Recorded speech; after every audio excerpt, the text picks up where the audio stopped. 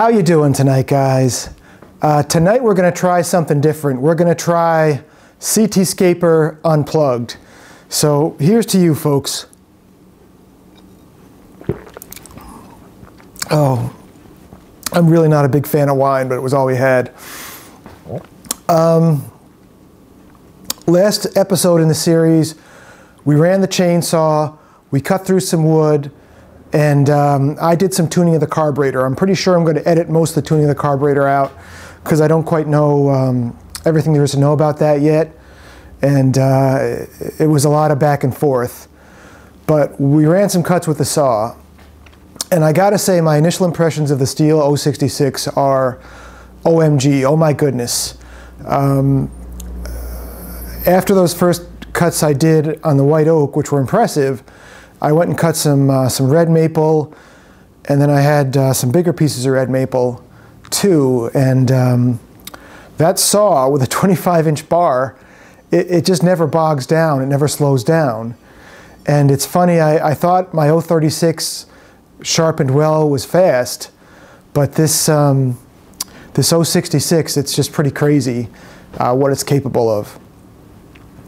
So um, things can only get better in my book with the 066 because I still have to get it tuned right and there's, there's something else I want to talk to you guys about too.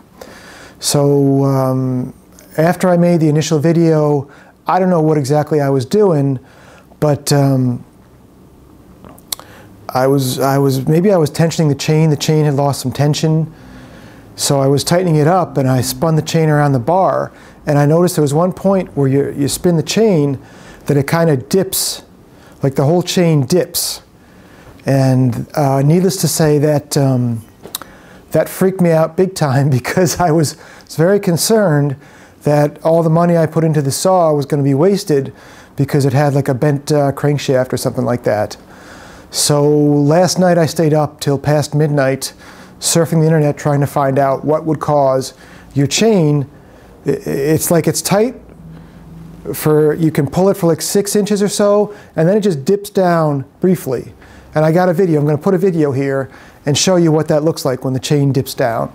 So tonight I took everything apart and I, I looked at the, uh, the, not the clutch, but the piece that goes over the clutch, and then the little sprocket that goes on that piece to see if it was like out around or something. And I, I don't see anything, you know, and, and the little sprocket piece doesn't look that worn. So my initial thought was to just throw money at the saw and uh, get new pieces. But I think the first thing I'm going to do tonight is I'm going to take the bar from my, uh, my 046, I have a 20 inch bar, and mount it on this saw. And if, if the chain spins freely without that little bump, I know it's something going on with the bar or, or the chain of that saw. And the way it's a very specific bump, I, I kind of think there might be something with the sprocket tip on the bar. I, I don't know what. I guess one would have to be short. Um, but hopefully if we, if we change bars, we're going to be doing okay. I took off the bar to uh, go ahead and change it with the 20 inch bar in my other saw. And while I was looking at the rails, I saw a lot of junk in there. And there was a lot of like caked on junk, that's really all I could think of it, inside the bar rails. So I spent a good five, ten minutes scraping out the bar rails and getting all the junk out of there. And I was really hoping that was going to be the magic solution to my, uh, to my problem. But I don't think that's it. And if you take a look right now, you see how the chain is down? But if I move the chain a little bit, but there's just no consistency to, uh, to this chain. And maybe maybe it is going to end up being the bar. I don't know what. I mean, I looked at the, the tip, the sprocket tip. All my teeth are there. They all look the same length.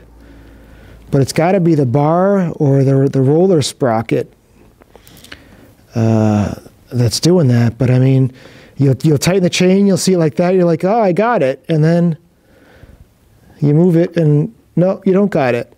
See how everything is snug right now? If I move the chain, it pops out. Snug, pops out. Snug, pops out. And the chain I've got on now is Oregon ripping chain. I think it's 72 RD. And I've got a 20 inch bar on. but I'm getting the same results with a different chain and a different bar, which means it's got to be something farther back. So, you know, maybe it's something simple like the roller sprocket. It says 0.375 tooth on it. I mean, maybe it's an off brand that's not built well. Maybe a genuine Stihl sprocket will fit the chain better. I don't know. I just don't like that. Um, I'm going to get a new one of these tomorrow. I'll probably get the bearing that goes inside there, and then the uh, clutch drum, which which is a Stihl. And I'll probably just bring the saw with me and have the dealer take a look at it. And while we're zoomed in, just take a look at uh, take a look here. I'm going to hold the saw down and rotate it a bit. Does that look like it's it's spinning crooked? I do not think that the crankshaft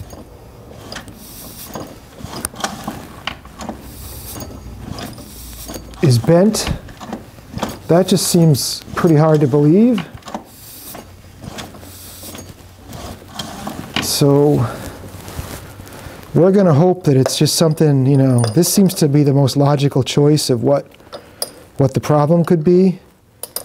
So all we can do is hope that uh, when I replace this with a genuine Stihl one, it fits the chain better.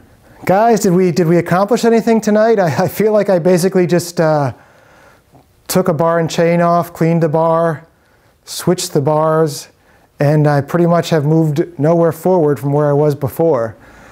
But uh, tomorrow, what I'm going to do, so it's a Friday night right now.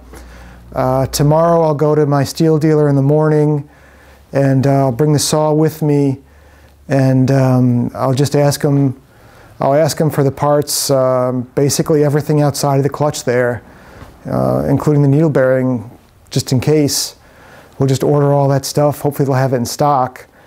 And, uh, you know, I will ask the dealer if, if there's a quick and dirty test to tell if, if the crankshaft is bent, but I, if it was bent, I would, I would have to see some kind of play in that, um, in the, the tip of that piece that holds the clutch drum on, and I, I don't see it wiggling around at all.